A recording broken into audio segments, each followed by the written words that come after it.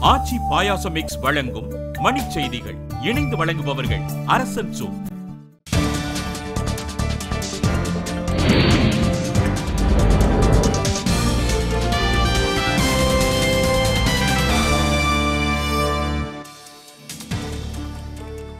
திரிபுரா சட்டப்பேரவை தேர்தலில் நண்பகல் நிலவரப்படி நாற்பது விழுக்காடு வாக்குப்பதிவு.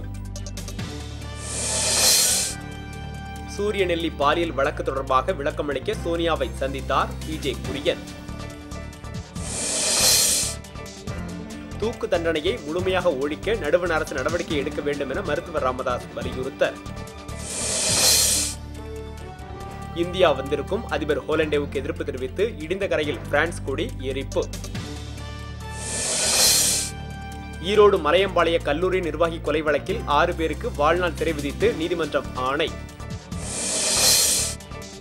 சென்னை மாதவரத்தில் பாமக கொடிகளை கிழித்தவர்கள் மீது நடவடிக்கை எடுக்க வலியுறுத்தி காவல் ஆணையரிடம் புகார். சென்னை திருவள்ளிக்கேணியில் வீடு காலி செய்வது தொடர்பாக எண்பத்தி எட்டு வயது முதியவரை தாக்கிய மர்ம கும்பலுக்கு வலைவீச்சு புதுச்சேரியில் காதலர் நாளுக்கு எதிர்ப்பு தெரிவித்து இந்து முன்னணியினர் வாழ்த்து அட்டைகளை எரித்து ஆர்ப்பாட்டம். அமில வீச்சில் உயிரிழந்த பெண் பொறியாளர் வினோதினியின் உடல் சொந்த ஊரில் அடக்கம். இலங்கையை ஒட்டியுள்ள வங்க கடல் பகுதியில் காற்றழுத்த தாழ்வு நிலை தென் மாவட்டங்களில் மழை பெய்யும் என தகவல். ஆச்சி பாயாசம் மிக்ஸ் வழங்கிய மணிச் செய்திகள். இணைந்து வழங்கியவர்கள் அரசன் சோ